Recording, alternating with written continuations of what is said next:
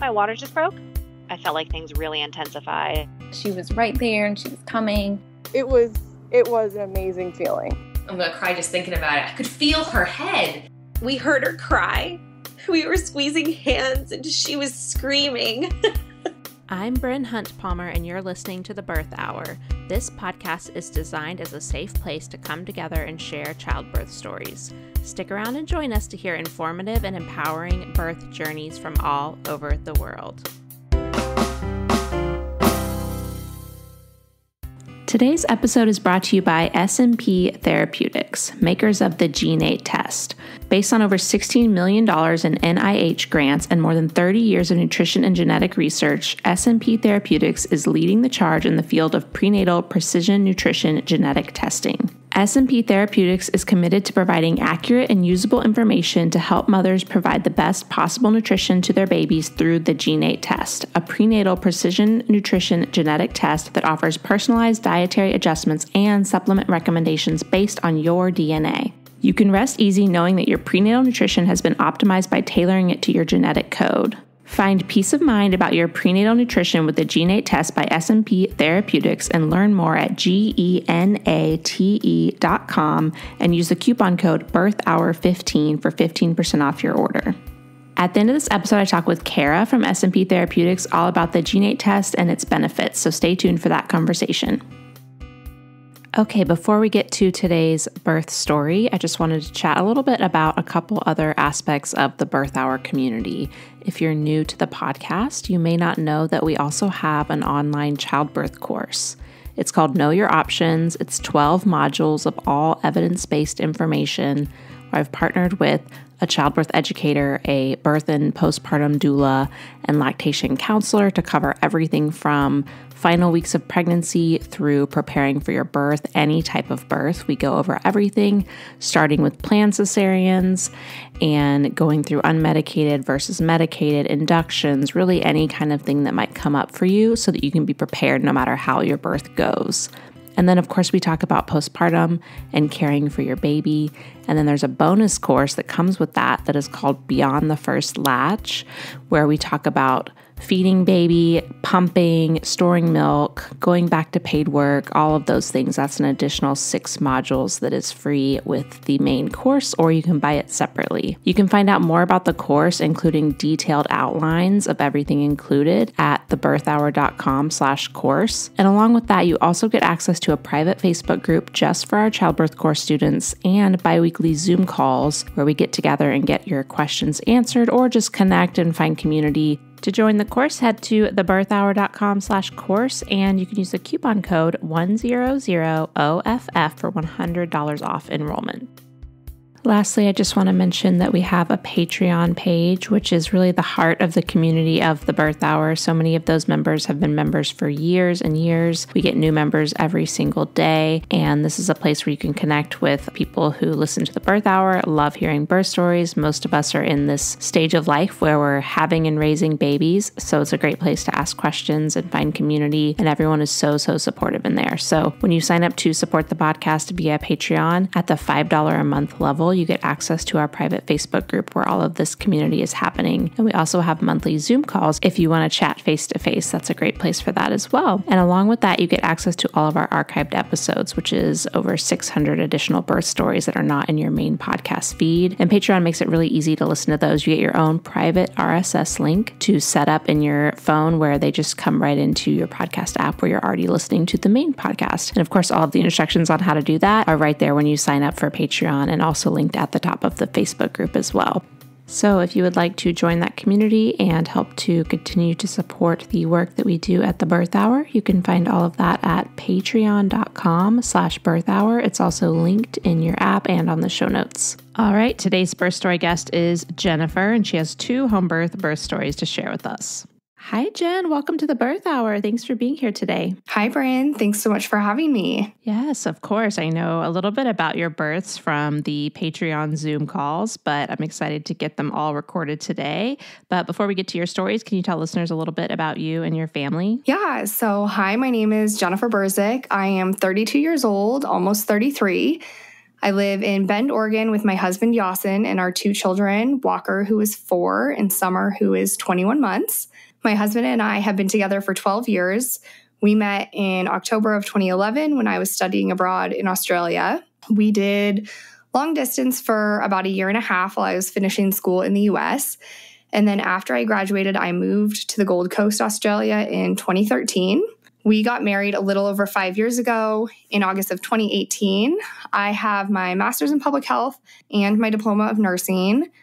Prior to becoming a mom, I originally worked as a nurse. And after I got my master's, I worked at the University of Queensland in their School of Public Health. And I worked on an amazing health initiative called Be Upstanding, which helps workplaces stand up, sit less, and move more. And now I am a full time mom and homemaker. All right. Well, let's go ahead and start with your first pregnancy, getting pregnant, anything you want to share there. Yep. So before we get into that, I just wanted to say that is my absolute dream come true to be sharing my birth stories on the podcast today. So thank you so much, Bryn.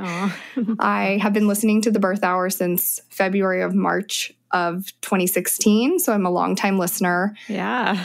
I'm obsessed with birth and I'm so excited and happy to be sharing my birth stories today. Oh, good. And so, trying to conceive, I have known that I wanted to be a mom since I was about three years old, and I've always wanted four kids. So, after my husband and I got married, I went off birth control. I had been on the NuvaRing since I was 19, and I was 28 when we got married. My parents actually experienced eight and a half years of infertility, and they started trying when my mom was 22. So I didn't want to waste any time and I was very ready to become a mom. My cycle prior to going on birth control was always very regular, but I knew it could take some time for my body to regulate after being on birth control. And I was right. I had a 52 day cycle, and my cycle cycles actually never really regulated before I got pregnant. In December of 2018, we went on our honeymoon to Bora Bora, and my cycle was all over the place. So I thought I ovulated at a different time and I should find out if I was pregnant or not on New Year's. So I took a test, it was negative. I was super bummed, but I was also fine because I wasn't really sure about when I ovulated and I hadn't got my period and we were in Bora Bora. So I couldn't be too upset. And then a few weird things started happening. I started getting really tired. The food started tasting off. And I started to really crave chili peppers. And then on my birthday, which is New Year's Day, my dad and I went scuba diving, and we have been diving together since I was 15. And when we were underwater, all of a sudden I felt super nauseous, like I was gonna throw up. Then we got back from our trip uh, back to Australia late at night, and I woke up really early on January 9th of 2019, and I had to pee super bad, bad. So I was digging through all of our suitcases trying to find the pregnancy test. I finally found one, peed on it, and normally my husband was never around when I took them, but of course that day he was. And he was like, What are you doing? And I told him, and I said, You know, if you're pregnant, there are two lines, but there are never two lines. And then there were two lines. So I was so shocked. And it's funny because we found out on my parents' wedding anniversary. So in total, it took us about three to four months to get pregnant. That sounds really rough, um, getting nauseous underwater. yeah, yeah. I was really concerned. Thankfully, I didn't throw up, but I was like, what am I going to do? Like, how am I going to throw up and breathe underwater? Right. Okay, so then how did you feel during early pregnancy? Yeah, so my pregnancy was relatively smooth. I had evening sickness for the first 15 ish weeks and I was nauseous, but I probably only puked a total of 10 times my whole pregnancy. Brushing my teeth was horrible, and that's usually what made me puke. And normally I love brushing my teeth. I was super sensitive to fragrance. Uh, my breasts grew half a size, and I had a breast reduction when I was 21. And when I was pregnant in the first trimester, it literally felt like they were ripping at the seams. Mm. So that was a really odd sensation. And in terms of cravings, I usually eat pretty healthy cook most of my meals, but the only thing I could really tolerate was white carbs. And my number one craving in all of my pregnancy was plain bagels with butter, salt, and red chili flakes. And as my pregnancy progressed, my number one craving was artichokes. Interesting. so we were living in Australia, and I knew that when we had children, I wanted to have them in the US to be close to my family. And I also knew that I really wanted to have a home birth. I decided this back in 2016 after listening to the first 10 or so episodes of The Birth Hour and watching The Business of Being Born.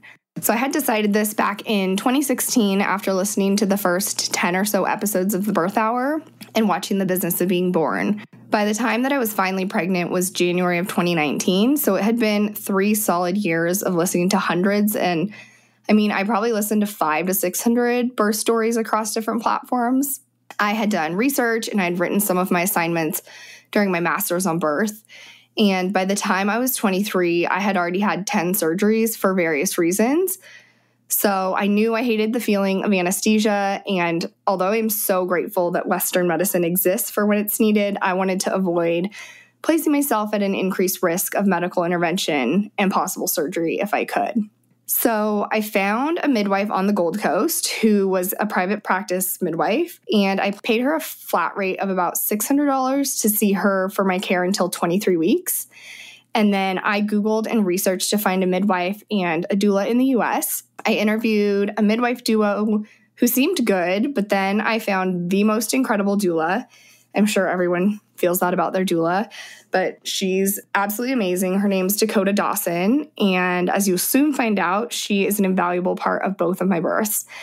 She's the only certified hypnobirthing instructor in Central Oregon, and she also runs a childbirth education course. Prior to working as a doula, she was also an EMT, and so I like that that she had that medical background knowledge. I FaceTime with her and I instantly knew she was a perfect fit for me. And she recommended that I interview another midwife named Allegra Lilly, who's the owner of Mandala Midwifery in Bend, just to cover my bases. So I got in contact with Allegra and I knew I wanted to work with her. She's incredible and she answered the million questions that I had. So I hired both of my midwife and doula, having only FaceTimed them each once. And when I was 23 weeks pregnant, we came back to the US. That's when I met all of my care providers in person for the first time. I also didn't announce on Instagram or tell many of my friends that I was pregnant. So I surprised them in person when we got back. So that was fun. Part because I thought it would be fun, but also I had a lot of anxiety and I normally have anxiety when I'm not pregnant. And with pregnancy, it definitely increased. My little brother was actually a micro preemie. He was born at 23 weeks and five days, and that was in 1997. And when he was born, he only had a 5% chance of survival. And if he did live, he had really high chance of having major complications. And miraculously, he lived and he's completely normal and healthy 25 year old. But for me personally, in both of my pregnancies, I felt a lot of relief once that 23 week mark passed because I knew that even though it wasn't ideal, it was possible for a baby to live at that gestation. The only other thing that really was unusual about my pregnancy was that around 32 weeks and two days, I felt a ton of movement. And then a day or two later, a lot of decreased movement. And I had an anterior placenta, but I could always feel the baby. So I was worried. I had an ultrasound and found out the baby was breech, and I freaked out because at that point in time, my midwife had never delivered a breech baby, and no hospitals near me would allow a vaginal breech. So I did so many things, and people can contact me if they want the comprehensive list. But I did so many things to try to flip the baby. And the two things that I think that helped the most were spinning babies inversions and upside down on the ironing board and moxibustion and acupuncture. And we also didn't find out the sex of the baby. My midwife reassured me. She said, It's okay if the baby's breech at this point. We just want them to flip by 34 weeks. By 35 weeks, she palpated and she said it felt like the baby was head down, but I wasn't sure. And so I requested an ultrasound at 36 weeks and three days, and we confirmed that the baby did flip. So that was great. In preparation for labor, I did a lot of things birth education class, hypnobirthing. Both were taught by my doula. I listened to podcasts, Webster certified chiropractor, acupuncture, massage. And because I had already had so much knowledge of birth, I think the things that really helped me prepare the most were walking, listening to the hypnobirthing tracks at night to try to rewire my subconscious, mental preparation, and learning different breathing techniques. And I also wanted to have the birth tub available and water birth sounded nice, but I didn't know how it would feel in the moment because I'd heard so many stories where women planned a water birth and they hated it. So, like in labor, they couldn't tolerate the tub. So, I just wanted to have it as an option. Um, and lastly, I just want to say that I loved the midwifery model of care. My midwife would come to my house and we would have appointments for one to two hours, and it was amazing. All right. So, any early signs of labor you want to share, or things start quickly? Yeah, so I fully anticipated going two weeks over my due date. I didn't tell people what it was, I didn't want the pressure, and I barely told anyone that we are planning a home birth. At about 39 and a half weeks, I talked to the baby and I said, Okay, I'm ready for you to come whenever you're ready. At 39 weeks and five days, I went to acupuncture and I asked her to help my body start getting ready, but I did not want her to put me into labor. So that was on Wednesday. And then on Saturday at 7 p.m., which was actually on my due date, my husband and I were playing backgammon and I started to have lower back cramps and was getting generally just irritated and uncomfortable. And I kept losing at the game. So I told him, I want to stop. Um, and then around midnight, I tried to go to sleep. But as soon as I lay down, I started having like electric feeling through my stomach. So I got up, I went downstairs. Pretty much straight away, I started having contractions that were three to four minutes apart. They were lasting 45 seconds, but they weren't so intense that I couldn't breathe through them. Like they were definitely manageable. I just could not lay down. And I knew I should try to rest or sleep during early labor, but I physically could not lay down at all. So that night, I rotated between laying down and then when I'd get a contraction, hop up on my hands and knees on the bed or walk in the hallway. I stood and leaned on a dresser. And at some point in the night, I also took a shower and went to the bathroom and I had a tinge of pink mucus. So both my midwife and my doula told me that with first time labors, sometimes it will start at night, but as soon as the sun comes up, then contractions can peter out. So I didn't text anyone until around 8 a.m. And my contractions did slow down in the morning, probably spaced out to 10, 15, sometimes even 30 minutes apart. And at eight, my husband came down and I told him I didn't sleep. And he told me, Well, that wasn't a good idea. and I was like, Well, I don't think you understand. Like, I physically could not lay down. Like, it wasn't a choice. So that morning, I was able to rest on the couch. I got maybe 30 to 45 minutes of sleep um, while I was trying to watch a show. And my doula had encouraged me to stay active and fed during early labor and really suggested walking uphill. So we were living in Sunriver, Oregon, and where like around our house was pretty flat. So we drove to the gym and I was gonna like walk uphill on the treadmill. And normally this gym is super empty. For those who don't know, Sunriver has like 1,300 people who live there, and it's a pretty quiet place. And, anyways, this day was like a little bit stormy, drizzly. And so the gym that's normally super empty was packed. And after about five minutes of trying to walk up the treadmill and having contractions like at three minutes apart, I was like, okay, I have to leave. I cannot have these people looking at me. I didn't want them knowing I was in labor. So I decided to go walk outside and walk up the sledding hill. There was no snow because this is September, but then I actually put on a birth hour episode and I can't remember what her name was or what episode number it was, but basically the gist of the episode was this woman used hypnobirthing and it really helped her during her labor, but she had just looked up hypnobirthing like the night before her labor and just learning those techniques helped her the next day. And that was very reassuring to me because I had been listening to hypnobirthing tracks and done the class, but I wasn't so sure it was going to be as effective as I hoped. So when we got back from the gym, I tried to eat, take a bath, and take a nap, but I absolutely hated the firmness of the bathtub and it was way too hot. I just could not get comfortable or grounded. And again, the contractions were so intense that I physically couldn't lay down. They were so much more painful in that position, and I felt so out of control. So then we were just kind of hanging out. I think I bounced on the birth ball a little bit, and I mainly was alone. I didn't want to be with my husband, I didn't want to be with anyone when I was in labor. Around 7 p.m., things started to get really intense, and I started doubting myself. I felt like at that point, I was like, okay, I need support from my doula, Dakota. So we contacted her, and I thought to myself, if I had been in a hospital, I think I might get an epidural, but the process of getting in a car, driving for 30 minutes, getting checked in, waiting, that all sounded so much worse than just going through the process. Um, so I was really happy that I was at home. And then Dakota arrived at 9 p.m. She brought a suitcase full of tools to help. She had heat packs, a CD player with different Sonicade music, massage oil. And we were in the room where we had the crib set up, and she had me sit on the birth ball. She put heat packs on my back. She gave me a massage. And she also had me put my right leg up on the edge of the crib and roll my hips and do figure eight circles with my hips. And this made things way more intense. And I told her that, and she said, That's good. That's what we want. And then she put on some like drumming music. It didn't have any words, but that really helped me just like focus and just go inward. My midwife, Allegra, also called at that time, and I could have talked to her, but I didn't feel like it. So I gave the phone to Dakota, and I heard her tell Allegra she thought I was in active prodromal labor.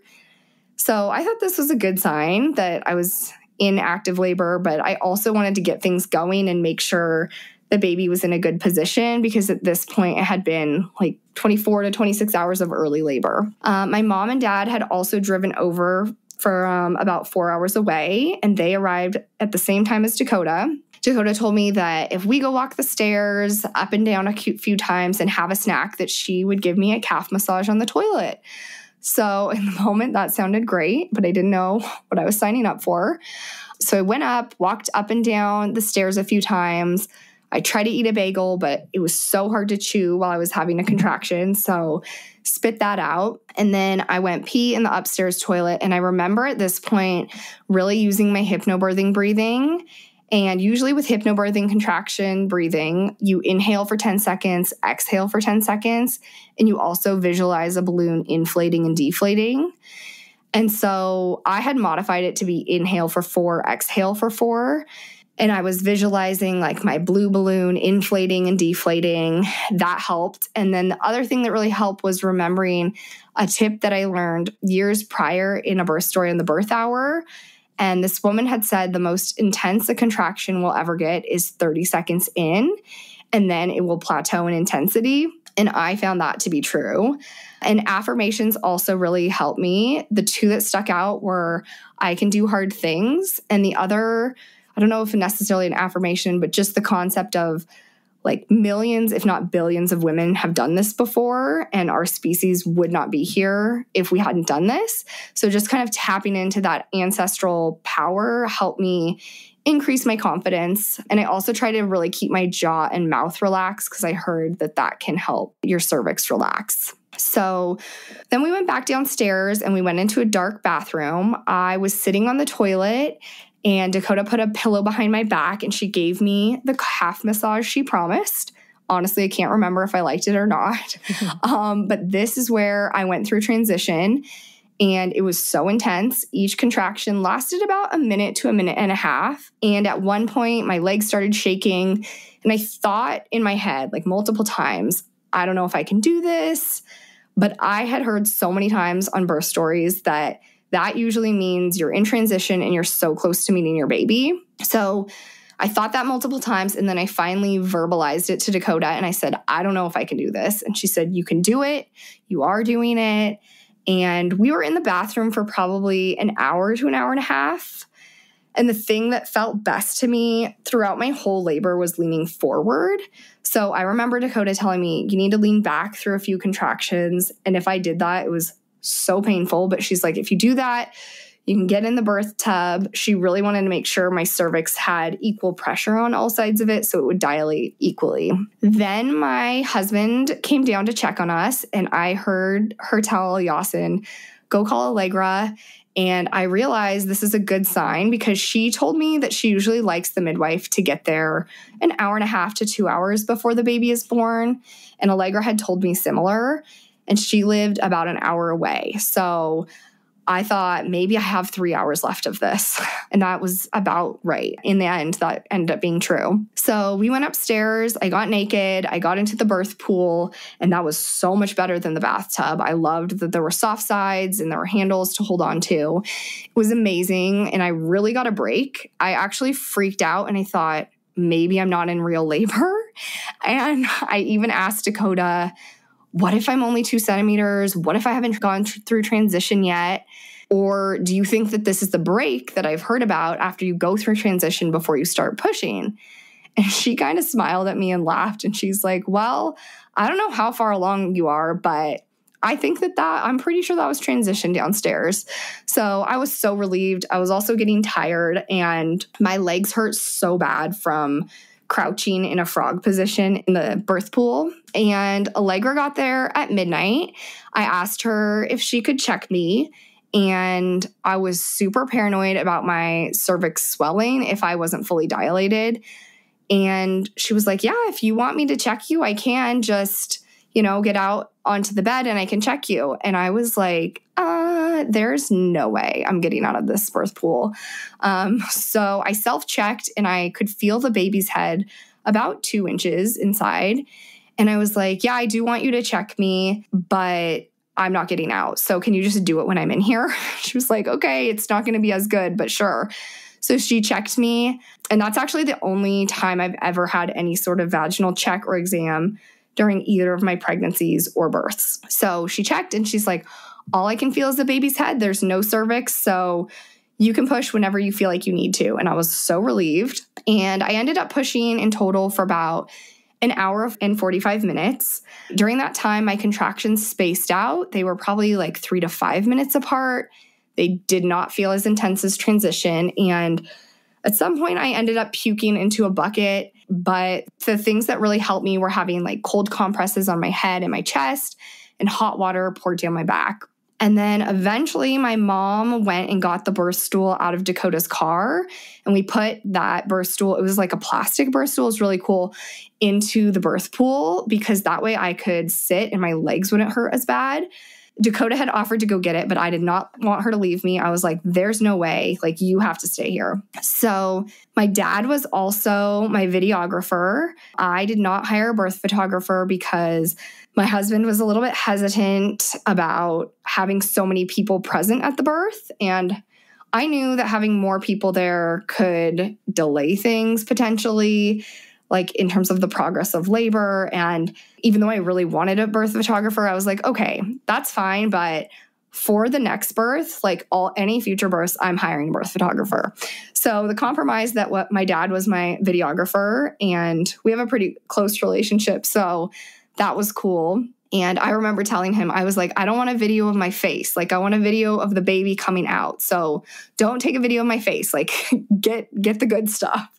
So I was sitting in like this tripod position on the birth stool, pretty like upright and a little bit leaning forward. I had a mirror at the bottom of the tub and I loved being able to watch and get the feedback of what was going on. And then about eight minutes before my baby was born, my water broke. And I was like, there was tons of dark green meconium. And I kind of freaked out. I was like, oh no, there's meconium. And but everyone was super calm and reassuring. My midwife listened to the baby with a Doppler. Its heart tones were great the entire time. And my doula actually later told me she was a little concerned and that that was the most amount of meconium she had ever seen, but she didn't let me know that in the moment. Um, I also freaked out because then I couldn't really see anything because the water was so murky. So they're trying to swish the water away with their hands so I could see. And then I started to feel the ring of fire and it was definitely a very like intentional pushing the baby out i was using the hypnobirthing like j pushing I remember the midwife assistant, um, Amanda, saying, I know it feels like it's going to break you, but it won't. And my midwife said, once its head is out, the rest of its body is going to slip out like jelly. So I eventually pushed and the head came out. And I remember feeling the head with my left hand. And that's a moment that I will remember for the rest of my life. It was so cool to feel my baby part inside of me and then part in this world. And I asked my midwife, should I push or not? Because I wasn't having a contraction. And she said, if you feel like you need to push, you can push. So I pushed and his body came sliding out and I scooped him up. I put him on my chest and I had a really short cord. So I kind of had to like scooch up out of the water a little bit. And I checked and I felt that it was a boy. And I was so happy. At this point, I started crying because I was just so relieved that it was over. I was so happy he was finally here that I did it. And more than anything, I was just so happy I was finally a mom. Mm, such an amazing story. Oh, thanks. Sounds like all the things you wanted too for someone who's been a birth nerd for a long time before even getting pregnant. Yeah, definitely. It was incredible. Okay, so how was postpartum with this first baby? Yeah, so after about 10 minutes, I got out of the birth pool because they wanted to monitor the bleeding. And I remember feeling like I do not want to have to deliver the placenta now. So I walked over to the bed, and right before I got in the bed, I felt a little contraction, some internal weight. I gave a little push, and the placenta went flying out onto the carpet and everyone was really alarmed and shocked and trying to figure out what happened.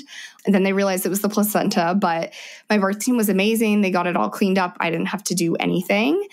And then we waited for a half an hour and then my husband cut the cord and I also had a shot of pitocin because the bleeding was a little bit more than my midwife wanted and just because I had low ferritin levels. I had two first degree labial tears that each needed four stitches. And in total, my early labor was 24 hours and my active labor was five to seven. So, all in all, it was about 31 hours. And my son weighed six pounds, 10 ounces. The immediate postpartum, like the next day, I was euphoric. I remember anticipating baby blues around day four, and everyone kept asking, how I was, but that didn't happen. And instead, I was just so happy and so in love. And I was kind of like waiting for the other shoe to drop, but I was just like on cloud nine. And I was also really happy with how my birth experience. I felt like I got everything that I wanted to have happen. And I didn't expect that. I have listened to enough birth stories to know that you can list out all your intentions and then you just have to go with the flow of what the universe presents to you in the moment. And so I honestly felt like my birth was so good and it couldn't have gone better. And when I would tell people about my birth, I would always emphasize although I love my family and my whole birth team, if I had to just pick one person to be at my future birth, it would be Dakota, my doula. She helped me relax so much quicker in between contractions. She helped me cope and lean into the contractions when I was having them. And I remember telling her the morning after, I don't know if I want to have another home birth in the future. Maybe it would just be so much easier to go to the hospital and get an epidural. And I remember her smiling and telling me, My future births are going to be so easy, so much easier than this. And so that was interesting. And then I also had increased anxiety around day four, but talking with my therapist helped a lot. And then I really wanted to mention that something I don't hear very often is about back pain. My vagina was a little sore for probably like four days, but it was fine. My back had so much pain. Even just laying down, I would inhale and exhale, and my entire spine would crack. So that's not something I was expecting. And I ended up getting a massage a couple days later, and that helped a lot. And then, really quickly, breastfeeding actually went great. Because of the breast reduction, I anticipated needing to supplement. My milk came in at two days postpartum. Electric pumps had never worked on me despite correct flange sizes and settings. So I don't know why that is, maybe the breast reduction, but the Haakaa was amazing. And my initial goal for breastfeeding was a day, then a week, then a month and we ended up making it to two years and I never had to supplement. So that was the postpartum. Oh, that's so great. Yeah, amazing. Yeah, I get that question from people who have had breast reductions before. And I think they tell you when you get it, like you just don't know whether it'll affect nursing or not. So totally. They said it was so hard to know. yeah, because there's so many factors. Yeah. Okay. All right. Well, let's go ahead and talk about the decision to try for baby number two. Yeah. So my period didn't return until I was 17 months postpartum. And when it did, my cycle was all over the place. It would take about 30 days to ovulate. And then after I ovulated, I would get my period five to six days later, which obviously is not enough time for fertilization and implantation. So I think it was because I was still breastfeeding and I had high prolactin levels, which decreased your progesterone. I actually went to a gynecologist, an OB, and two naturopaths, all who said they couldn't help me and they would not test my hormone levels, even though I requested it, because I was breastfeeding, they basically just told me, you need to stop breastfeeding if you want to get pregnant, which was extremely frustrating. I eventually self diagnosed myself with a luteal phase defect, which means that second part of your cycle is not long enough, and got in contact with a different amazing naturopath who I'd previously seen. So I worked with her and a phenomenal IBCLC who suggested some Chinese herbs that were helpful for my symptoms and also safe while breastfeeding. So, together with their guidance, I used the herbs. I ended up getting pregnant my first month using them. But everyone, my naturopath, my IBCLC, and my midwife all advised that as soon as I was pregnant, I should stop taking the herbs. I knew I would probably lose the pregnancy because of the low progesterone if I stopped the herbs, because they help suppress like prolactin. And that's exactly what happened. Technically, it was a chemical pregnancy. I was only about three and a half weeks when this happened. So the next month, I used the herbs again. I got pregnant and then I asked my naturopath to prescribe me progesterone. And I didn't go off the herbs until six or eight weeks, but I was super nervous to stop them. And then I was nervous to stop the progesterone when that came. I think that was around 15 weeks. But thankfully, everything worked out. And again, with this pregnancy, my first symptom was needing to pee really bad in the morning. And my second symptom was craving the plain bagel with butter, salt, and red chili flakes. Made a comeback, huh? yep. All right. And then how did you feel during your pregnancy? Yeah. So I was on the progesterone until 15 weeks. I was still breastfeeding my son. I breastfed him until I was 17 weeks pregnant. So I fed him on his second birthday and then I cut him off. Overall, my pregnancy was relatively uncomplicated. I had three ultrasounds. I was extremely sensitive to scent and fragrance, and that actually got worse as my pregnancy progressed. And this pregnancy, I craved sweet things like sugar, sugar, jelly beans, soda. I don't ever normally drink or eat those things. So that was really weird. And I could also tolerate eating vegetables this time. Let's see, in my second and third trimesters, I craved roasted cauliflower, with nutritional yeast and lemon, and I could eat the whole cauliflower in one sitting. So, a couple months before my due date, we moved into Bend, about 30 minutes away from where we were living. And I was planning another home birth with my same birth team. And this time I had hired the birth photographer that I really wanted. I was so excited. I shopped around and found her.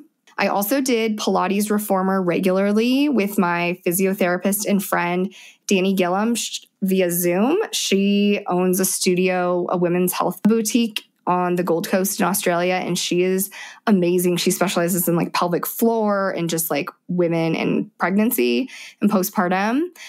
And this pregnancy, I tried to do the spinning babies balancing exercises. It takes about five minutes, and those I found way more achievable than like the daily essentials 40 minute video that I tried to do the first pregnancy, and that did not happen.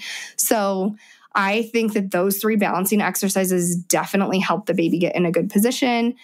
And I will add, because my first birth had gone so well, I was really nervous going into the second birth because I felt like I got everything I wanted. And I was like, what are the chances that that's going to happen again? So that's kind of the mindset I was at going into this next birth. Okay. So, anything else from pregnancy you want to mention? Let's get into the birth story. Okay. I know this one went differently. So, yes. So when I was exactly 38 weeks, I got COVID for the first time. This was in February of 2022. I was really exhausted and weak for the first few days. Overall, like the sickness was fine. It just felt like I had the flu. But I was so weak that I prayed I would not go into labor because I knew that I could not give birth with that little energy. I was like 100% I would need an epidural so I could sleep, or maybe even a C section. Like, I was like, there's no way I could push a baby out right now. So I was a little bit stressed out. Also, my worst symptom was coughing, and I would cough so hard. I just like constantly wore pads because I was just peeing myself all the time. So, about four days later, I lost my taste and smell. And then I was really worried and a little depressed that when I had my baby, am I going to be able to smell that newborn baby smell? So at 39 weeks in one day, eight days later, and 39 weeks in two days, both of those mornings, I woke up and I felt so rested. I felt completely better. And it was the best sleep that I had had in like months. I was like, wow, I feel so rested and finally felt like I had the energy to give birth. So I was very relieved. And on the morning of 39 weeks and two days, I woke up. I was making breakfast for my son Walker around 10 a.m.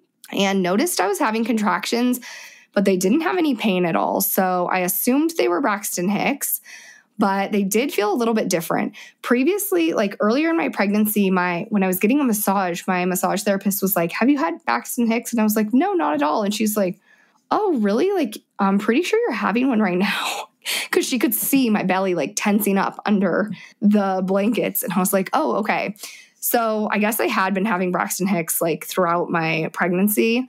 These felt a little different, but they were not painful at all. So we took our son to soccer practice, and my husband stayed with him. I drove myself to Trader Joe's. I got groceries and I also got flowers because I really wanted to do like a little home photo shoot with this like lace dress and flowers like in the bath with my pregnant belly. And when I was there, my midwife called and I was like, Can I call you back? So called her when I got in the car and told her, you know, I'm having some sensations, but trying to ignore them. They weren't painful. And I also had my 39 week appointment scheduled with her the next day. And I was going to get the birth tub. So she's like, Yep, just keep me updated. Sounds good. Just try to ignore them. So we picked up sandwiches on our way home. And I was so happy because I could finally taste and smell. It wasn't 100%, but it was definitely coming back. And we just hung out a little bit. And then from 3 to 4 p.m., I had my regular weekly, like, therapy session online. I've been seeing the same therapist since I was 17. Her name's Vanessa, and she's amazing. I told her, you know, I feel like the baby could come anytime now. I feel rested. My smell is coming back. And during my session, I only had like three contractions. Before that, I had been having contractions like five to 10 minutes apart, but they weren't painful. So they slowed down like to three during an hour time frame. As soon as my appointment was over, I texted my doula, I texted Dakota, gave her an update, and she suggested again go for a walk. So I told my husband I'm going out. I went on a solo walk. It was February and it was icy. So I had like my snow boots on and my winter jacket. And as soon as my walk started, my contractions were like three to five minutes apart. On my walk, I had to stop to breathe through like maybe three contractions. I probably could have walked through them, but it was just easier to stop and breathe through them. But they were only 20 to 30 seconds long. They were not that intense. And on my walk, Dakota called me and I was like, hey, I only have 4% battery. So if my phone dies, that's what's going on and we were talking and my phone died. So at that point I had like 15 minutes, maybe 20 minutes to get back home and I thought like should I flag down one of these cars to like drive me to the bottom of this hill or should I just walk? And I was like, no, it's fine. I'm just going to walk. It'll be good for me because the contractions are like picking up. I got home and I ate so much food. I ate two and a half tortillas, I had beans, vegan parmesan, avocado. I was like, if this is real ener- labor, like I want energy. And so at 6 p.m., I texted my midwife telling her, you know, things are still happening. Maybe I'm going to go into active labor. I don't know. I'll let you know. And at 6:30 I texted the birth photographer a similar text just to give them like a heads up like maybe I'm going to be calling tonight. Like I think I'm going to go into labor. I called my mom around 6:30 also and she had actually originally wanted to get here that day, but it was 5 days before my due date and I did not want to be sitting around like waiting for me to have a baby. I was like no, you cannot come. so I called her and I was like, okay, so I think maybe you should come might be nothing. I don't know. But she's like, okay, I already have my car packed. She put the dog in the car. She checked like the weather cams over the mountain and she drove over. So at about 7 p.m., my husband was tidying up and cleaning the house. And I was a little tired. So I tried to lay down and rest but I couldn't. And I was like, oh no, this is a mistake. Like, not again, like not being able to lay. And then I took a three minute shower, which was super intense. So after the shower at 8:19, I called Dakota and I said, "I feel like I need you, but it is too early to need you." So we talked for about 10 minutes and I was having 20 second contractions that I needed to stop our conversation and breathe through. And in between the contractions, I was totally normal, very cognitive. We decided that like she would get to my house in 40 minutes or so. She needed to like get ready and shower, cancel everything for the next day. And I was like, do you know, do you think I should call Allegra and like tell her to come? Or do you want to just assess me once you get here? Because Dakota, the doula, she's been to almost 500 births. She has 11 years of experience and she is great at assessing where a mom is in their labor she's only had out of all those births like one baby that was delivered with just her. So she's like, you know, maybe wait until I'm there and I can see you in person, but ask Allegra. So I called Allegra after, same thing, had like a 10 minute conversation, was stopping to breathe through contractions. I was completely coherent between contractions. My midwife told me later, she's like, they were only 20 seconds long. We were having a full on conversation. So she's like, yep, I'm so happy for Dakota to assess you when she gets there. But just remind her that I have the birth tub and I'm an hour away. So I texted Dakota, told her that. And then I had my husband do the three balancing exercises. And my contractions were probably one to two minutes apart because I had to stop in between each exercise and they're only about a minute long. I was like, okay, I'm gonna go downstairs. My husband was putting our son to sleep. Our son stopped napping when he was two. But that day when I had my therapy session, he fell asleep on like an indoor inflatable swing that we have. And so it was taking him a long time to fall asleep. And I got downstairs, I put on my hypnobirthing tracks, and that made things way worse. Like I was like, where's my phone? I got to turn this off. Like, oh my God. So after that contraction, turned the tracks off.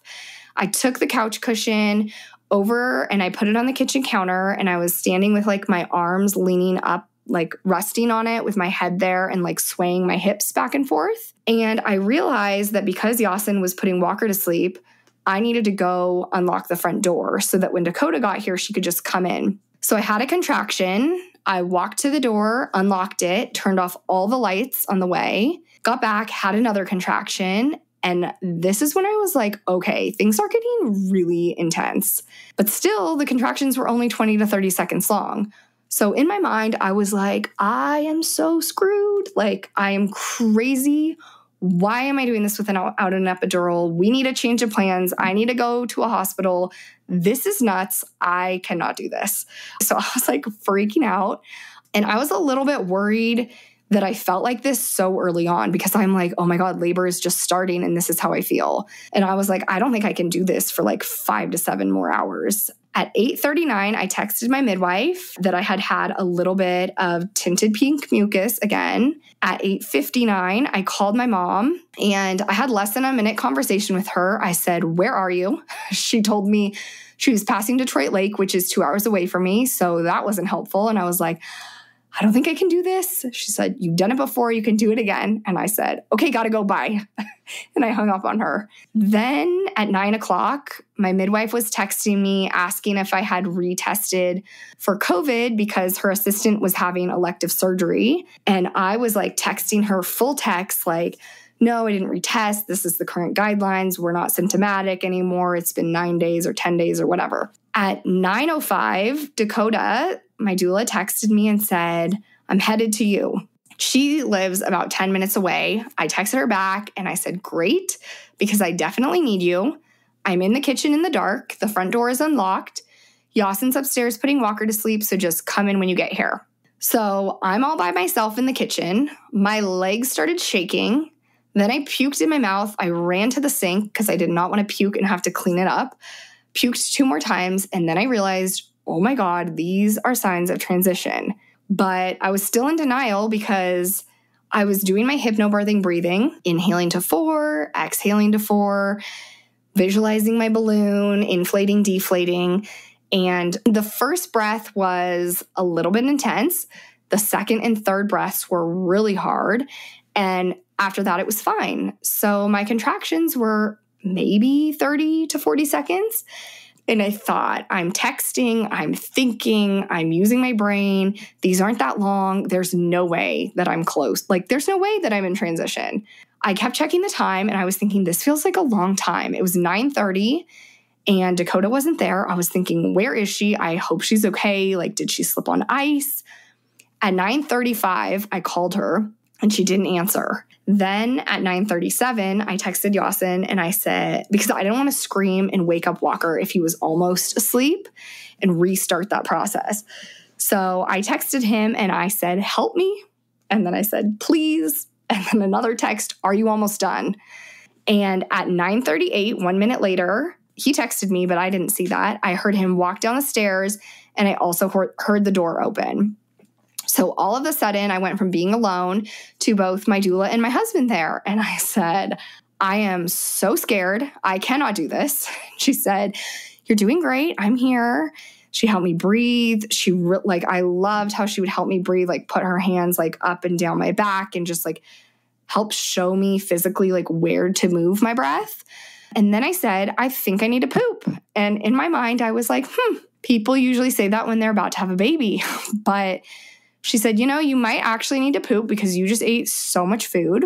And we were walking from the kitchen to the bathroom. And for whatever reason, I felt like it was really important to point out to her the birth ball because she had asked me, like, Oh, you have a birth ball? And I told her on the phone, Yes, I do.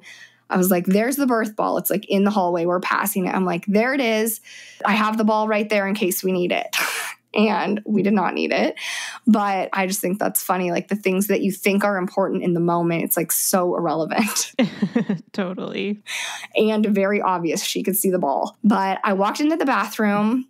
Our lights are auto sensor. So I walked in, the lights turned on. I immediately turned them off. And Dakota was like, I'm going to be right here. So she waited right outside the door. I did one little like squirt of like a fluff poop. And then I was like, oh my God, I need you. And she's like, okay, I'm right here. I'm right here. She gave me a like kind of hugging me while I'm sitting on the toilet. And in my mind, I was like, oh my God, this is so intense. This is not just a poop. And I was like, oh my God, I'm pushing. So my body started pushing on its own. And she was trying to help me breathe and stay calm. And my husband was like, oh, should I go set up for the waterproofing for the birth tub? And she was like, uh, no, like, you need to call Allegra, tell her to come now. Then my water broke on the toilet and she's like, "Okay, we have to go to the hospital because I can lose my like credentials if I know that birth is imminent and I don't call for backup, it's negligence." And I was like, "Nope, I am there's no way I'm not going to the hospital." And she's like, okay, Yasin, call Allegra, call the birth photographer. And he's like, I already called her. And she's like, call her again. Tell her that her water broke.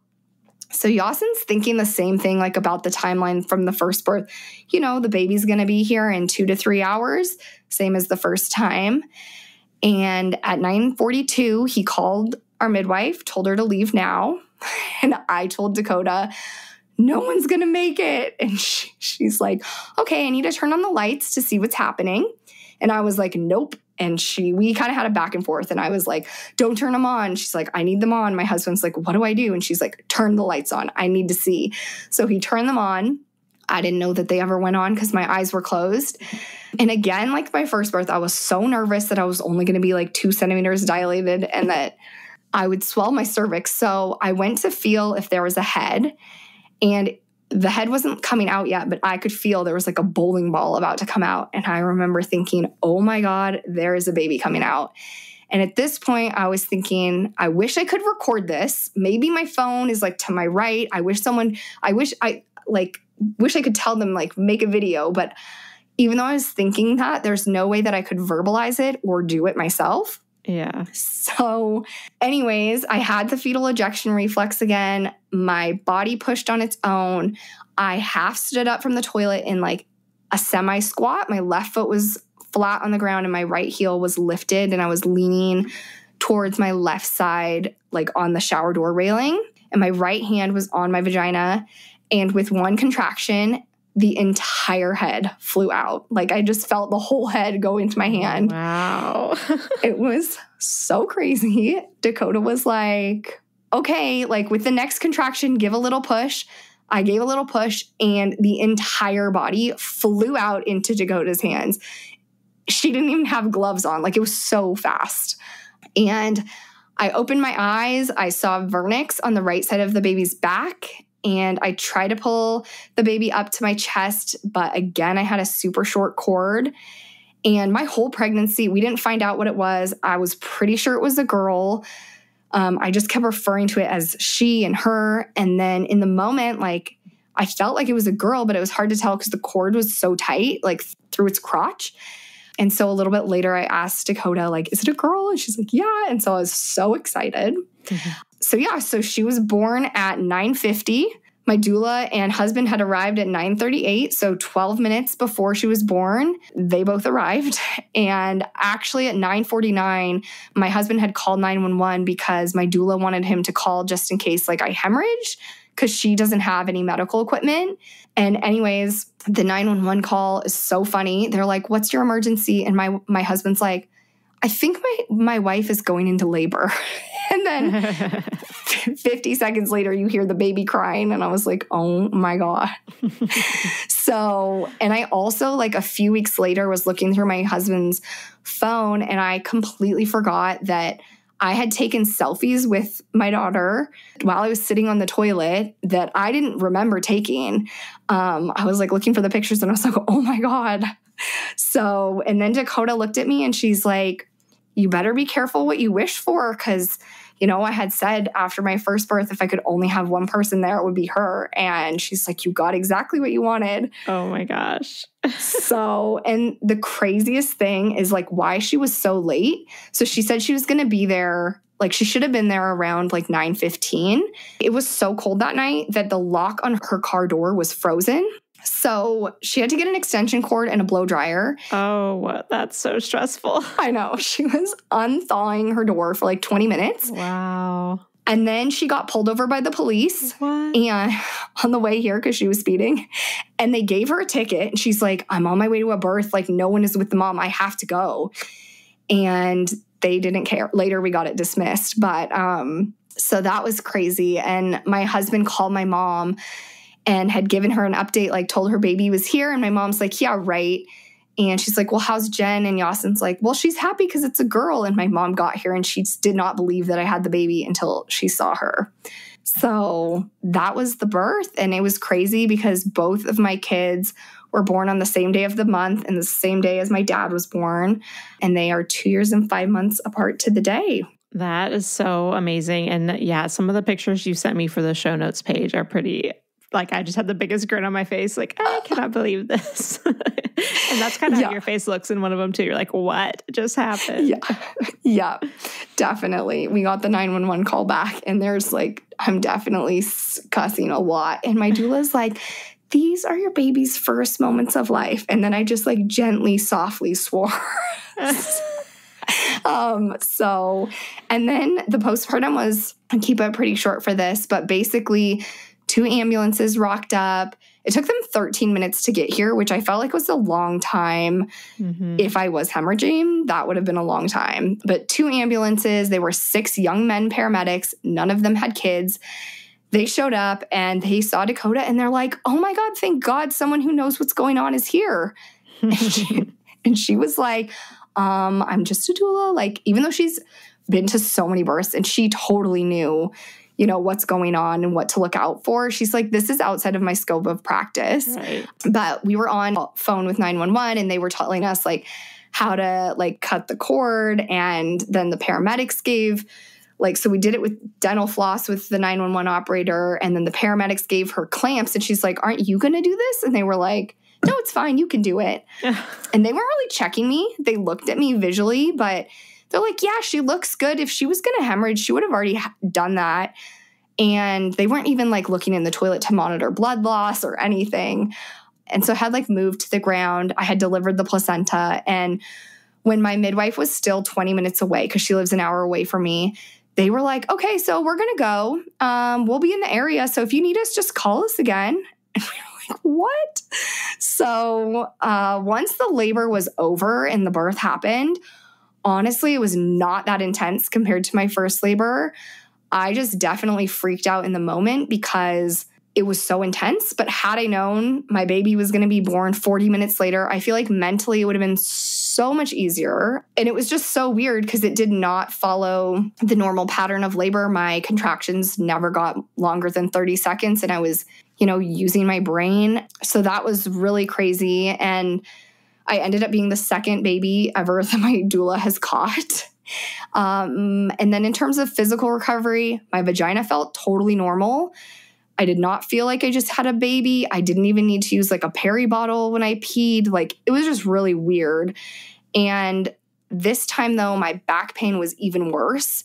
Thankfully, I saw my chiropractor the next morning and that helped a lot. And again, I was really euphoric. I did not feel like I just went through this process. I didn't experience the baby blues. I did have increased anxiety. And that night we could not sleep, even though she was born at 9:50 at night. We were just in complete shock Yeah. that we just had a baby in basically like my active labor was an hour and a half. So that was nuts. And breastfeeding also thankfully went really well and I didn't need to supplement and we are still going strong at 21 months. Amazing. And do you still want four kids? I do still want four kids. We're trying to space these ones out a little bit more. Um, I feel like once the older ones get a little bit older, it will be easier. Yeah. But yeah, I definitely still want four kids. Okay. So the next birth, you'll have everyone, maybe a midwife that lives closer to the house. I know. My doula was like, uh, you need to like let me know right away next time. so yeah, it oh. was it was crazy. And I'm just like so grateful and thankful to you, Bryn, for sharing all of these birth stories for all of these years. I know it's a lot of work, but I really feel like you have helped transform the birth culture in our country and just raise so much more awareness. And at the end of the day, I am just like so passionate about women having empowering, like beautiful births, whatever that looks like to them. And I think the best way to do that is just increasing knowledge and awareness around birth. And so I just want to say thank you so much. I think what you do is absolutely amazing. Well, thank you. And thanks for being a long time listener. It's always fun. I forget that it's even been around since 2016.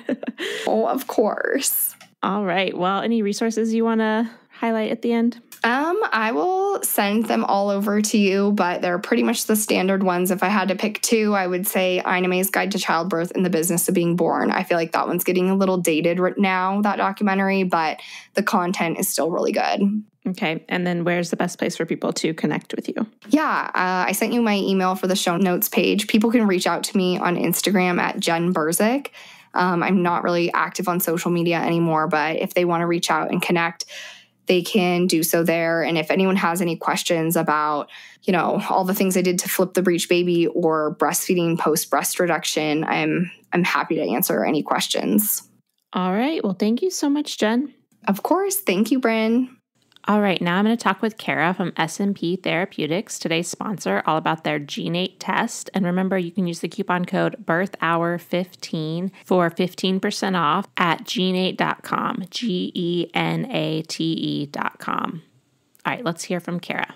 Hi, Kara. Thank you so much for coming on the podcast today to chat with me about the Genate test and the work that you guys are doing at SNP Therapeutics. Absolutely. Thank you for having me. Before we get into that discussion, can you tell listeners a little bit about you and your background? Yes, for sure. Um, so I'm a registered dietitian. I completed my education at Texas A&M University and University of Kentucky Hospital. Um, I have focused my work on um, neonatal and pediatric populations. Um, I really love serving moms who are pregnant and their babies right after birth, as well as into childhood. Um, I am also a healthcare writer, so I, along with counseling patients and having a clinical background, I also do some healthcare writing as well. Amazing. All right. Well, let's just jump right in. And can you tell us what is the Genate test and why is it so important for during pregnancy? So, the Genate test is a prenatal screening test that was developed by Dr. Steven Zeisel, who is a nutrition and genetic researcher um, from the University of North Carolina, Chapel Hill. And it is a test that looks at the different nutrient pathways that are critical for brain development for babies during pregnancy and through the first couple years of life. All right. So I know one of the things that we're looking at with that is different aspects of nutrition and how your genetic makeup relates to that. So one of the things that we see is the one carbon and fatty acid nutrition. So you can talk about why those are important during pregnancy. Mm-hmm, absolutely. Yeah, so with our prenatal Genate test, um, we do focus on the metabolic pathways that are needed um, for the metabolism of one carbon nutrients and essential fatty acids. And um, many women, I think, today are familiar with one of the one carbon nutrients, which is folate. Um, that nutrient has been shown to be very important for development of the neural tube and the brain. And we know that women who are deficient in folate in pregnancy do have a higher risk of having babies with neural tube defects. Um, a lot of us are also familiar with the fatty acid that we test for in the Genate test, which is called DHA. Um, a lot of prenatal supplements and infant formulas are now fortified with DHA because it is so critical for development of a baby's brain as well as the retina of the eye. We also, though, look at other one carbon nutrients needed for proper development in a baby's brain. Um, I'll just run through the list of the ones that the Genate test um, does look at. Um, one of those is choline. We also test for betaine, which is made in the body from choline. And we also look at a group of vitamins and minerals. Um, one of the big ones there are the B vitamins. They're needed in those one carbon nutrient pathways as well. And the reason that we test for all of those nutrients together um, is that these pathways the body are interrelated. So if a woman has a genetic misspelling that's affecting how her body metabolizes one of those nutrients, it could affect her diet requirements for that nutrient as well as the other one carbon nutrients. Um, again, because those pathways all affect each other and they're all very closely related. So the test is testing more for your ability to metabolize these things versus your current levels of these nutrients. Is that right? Absolutely, yes. That's a very good point. Um, yes, the Genate test is testing for your genes that code for the enzymes needed to metabolize nutrients. So it's not testing for nutrient levels in the body. It's really looking at your genetics, which determines how effective your body is at using the nutrients that you're eating in your diet. And then from there, um, you can make changes as needed. For instance, if a woman, we know from Dr. Zeisel's research actually that about 45% of women have a a genetic misspelling in the gene that codes for metabolism of um, choline. And as I said, choline is one of the key nutrients needed for proper brain development. So if a woman has that genetic misspelling, she's going to need to eat more choline.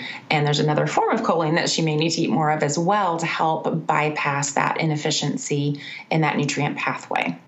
That's very cool. It sounds like it's really a deep dive versus what we're used to getting, you know, at the, our annual appointment where they just test for our levels and then, you know, kind of send you on your way because there's a big range of what's, you know, quote unquote normal. Absolutely. That is so true. And that's what makes me so excited about this um, Genate test. It's really a tool that women can use to be empowered um, to target their nutrition during pregnancy and then also during lactation to what their body needs. And that way they can really provide optimal nutrition for themselves and for their babies. All right. So, can you tell us what SNPs are and how they impact nutrition during pregnancy?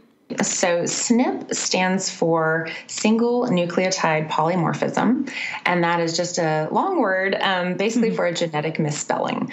So, our genes need to be spelled correctly um, to work correctly. And so, if we have one a copy of one gene or two copies of a gene that are misspelled, um, there could just be one letter, so to speak, that's out of place. Um, that will cause the gene not to work as effectively as it should.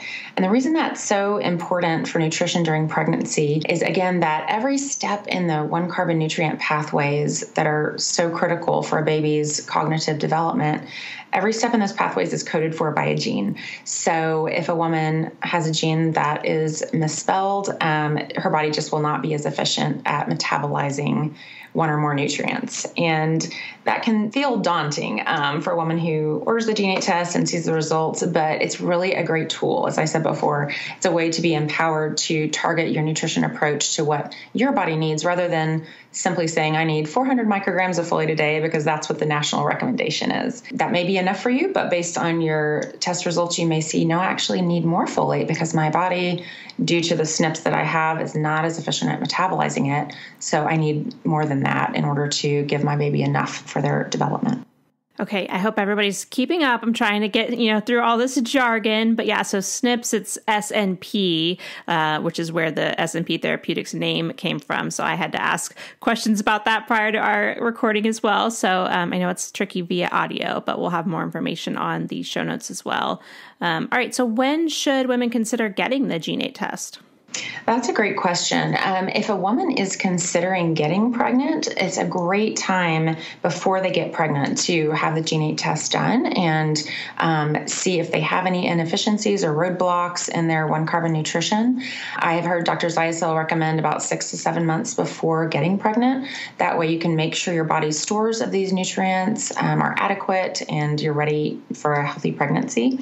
However, anytime during pregnancy, even after you've had a baby, if you're breastfeeding, you can still get the Genate test and find out if there are changes you can make to your diet or possibly supplements that you're taking to make sure that you're getting enough of those nutrients. Because we know these one carbon nutrients and essential fatty acids um, do come through in breast milk and can positively impact infants as well.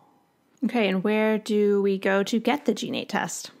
Yes, so some women um, they can have a recommendation from their healthcare provider for the test. Um, we do have OB physicians and um, other healthcare professionals that you know tell their patients about it. But anyone who's interested can actually purchase the test directly from www.genate.com, and that's spelled G E N A T E.com. You can take a nutrition survey before you actually get the test, um, before it arrives at your home. And that's great because you can see where your diet is at now and what levels of those nutrients you currently have in your diet. And then the test will be sent to your home. It's an at home saliva test, very easy to take. Um, you just follow the instructions and collect your sample and then mail it in, and our lab processes it.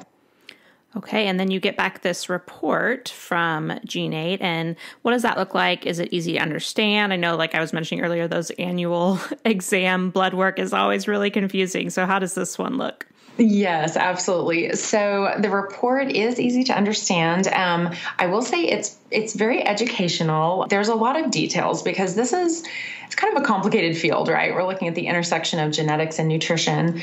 Um, so there's a lot of information in it, but we do break it down into what SNPs does a client have, what nutrients are those SNPs affecting, and then we give recommendations based on the results of her nutrition survey and her genetic results. So we combine those into diet recommendations, um, and that will show what levels of nutrients we're recommending that she eats um, every day. And that can be a combination of diets and supplements.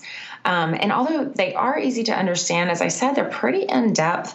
And we understand that some women may want extra support and guidance in implementing any changes that they may need to make. Um, and so we do provide nutrigenetic counseling with licensed dietitians. And women can either have just one counseling session if they want to just help them kind of interpret those results and figure out where to go from there. Um, we also have women who like to do a nutrition counseling session once a month as they go through pregnancy. Other women may want to do one session per trimester since calorie needs can change through pregnancy. Um, and sometimes based on weight gain, you might need to adjust your calories, you know, up or down. So we have a variety of different ways that we can go with that, but we do provide counseling with dietitians um, just to help clients, just to give them extra support and help them implement those changes. Very cool. Yeah, one thing that I was really excited about with this test when I first heard about it was we talk pretty regularly on the podcast about the MTHFR gene mutation. And I know that you don't even know you have it until unfortunately you've often had several miscarriages. So is this this is something that you could find out from this test right? Absolutely yes. So that is one of the enzymes that's involved in the folate pathway. Um, and the Genate test definitely looks at that. And you're right that's that's one that's been in the news a lot lately and it's very important in fetal development for sure. And then you would get recommendations on the type of folate that would be best for you based on that right Mm-hmm, absolutely. So, yeah, so if a woman had a blockage um, in that MTHFR gene, um, she would not be able to make as much um, methylfolate. So, she might need to, rather than taking a standard prenatal supplement that has synthetic folic acid in it, she could do a supplement that has methylfolate. So, she's providing the product of that pathway to her body rather than having her body have to synthesize it um, from folic acid, which if she has that SNP, she may not be able to do. Yeah, and there's just so many more that I don't, you know, that many of us don't even know about. So I think this is really cool, especially for those of us who are very into science and want to just kind of take control of our healthcare as much as possible. Mm-hmm, absolutely. It's a very exciting tool for sure. All right, so last big question is how much does the test cost? The regular price of the test is $279, but Genate right now is discounting the test and offering it as a package. So women can order the test and a nutrigenetic counseling session for 299. Essentially, that gives you the nutrition counseling session for $20, which is a pretty good deal. yeah, amazing. All right, so we'll link to it in the show notes and right in your podcast app where you're listening to this. But yeah, just head over to genate.com to look into getting this test. Thank you so much for your time today, Kara. Absolutely. Thank you. Appreciate it. Thank you so much again to Jen for sharing her stories with us and to SNP Therapeutics for sponsoring this episode. I will be sure to link to the Genate test and include the coupon code in the show notes and in the podcast app where you're listening to this episode. To find the show notes page, just head to thebirthhour.com and search for Jen's name in the search bar. Thanks so much for listening. If you enjoyed today's show, head to thebirthhour.com and click Become a Member to pledge your support. And as a thank you, you'll get an invitation to join our private Facebook group and access to exclusive episodes. Your vote of confidence and support means the world to me.